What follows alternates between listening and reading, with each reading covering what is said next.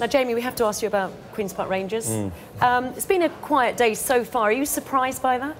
A little bit. He's after. We're going to ask you, aren't we? I've got to be honest, Get Kirsty, he's the way after a couple of centre forwards, and I'm sat next to two not bad ones here. I mean, uh, uh, no disrespect, but I think Thierry's slightly fitter than you. But I mean, Is there a Thierry, you know, we, there might be a deal right, to be. I'm sure my dad knows, but we sit in his office watching that thinking, cool, I'd take him for a few months. What do you reckon, Thierry? So Fancy you could do Saturday night football. it, we, we'll get you on the motorbike as soon as we can. Well, if he if he lets me do my job with Sky, then okay. Oh, I will miss some game. I can only play. What about if I only play at home? I Listen, you do go what you away. like. You can do what you like. We can Is this a a come and get you? I was going to say, think that's my yeah. That- that- my you, phone will be ringing in a minute. Great stuff, guys. I know that you're leaving us in just a couple of moments. Before you do, Got, uh, that break, got exclusive some breaking we news. now that Thierry, Thierry's off to I spoke to my dad. It's not been the window that he's wanted, so we'll do that deal now, yeah?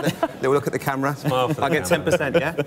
10%? No. 20? Come on. 20%. I get All. And you're going to combine Just this sign with it, your, yeah. your role as Where, where, where exactly? Just sign on the dotted line there, There buddy. To keep Harry happy, 'cause I know he's a bit frustrated. You've yes. He's them. watching this. QPR fans, you've There seen you it here first. You have made The their picture.